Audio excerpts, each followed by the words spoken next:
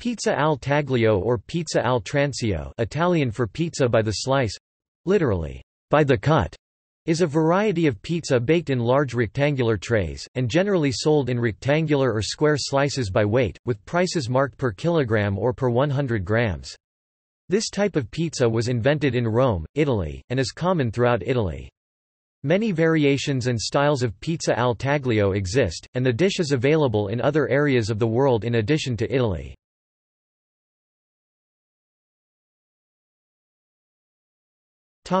Preparation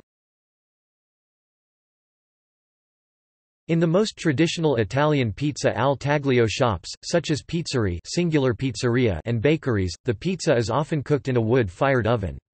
In today's establishments, electric ovens are also often used.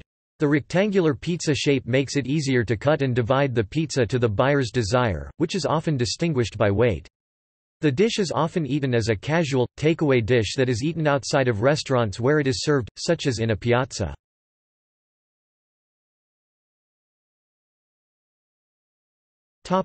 Varieties The simplest varieties include pizza margherita tomato sauce and cheese, pizza bianca olive oil, rosemary and garlic, and pizza rossa tomato sauce only. Other typical toppings include artichokes, asparagus, eggplant, ground meat and onions, potatoes, prosciutto, salami, sausage, ground truffles, zucchini, olive oil sun-dried tomatoes, arugula, gorgonzola, anchovies, and black olives.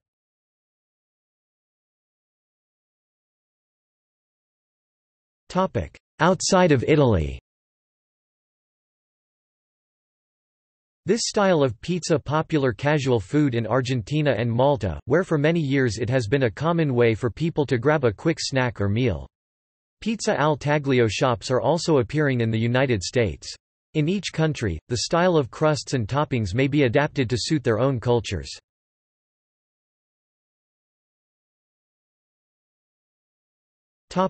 See also Sicilian pizza Neapolitan pizza Italian tomato pie Pizza by the slice Food portal